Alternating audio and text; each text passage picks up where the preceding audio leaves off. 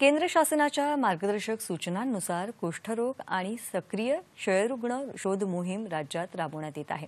या मोहिमेअंतर्गत औरंगाबाद जिल्ह्यात संयुक्त शोध मोहीम पथक स्थापन करण्यात आलं असून आशा स्वयंसेविका घरोघरी जाऊन ग्रामस्थांची तपासणी करत आहेत.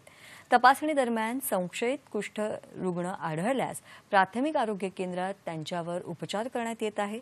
तीस सप्टेंबरपर्यंत ही मोहीम सुरू राहणार आहे.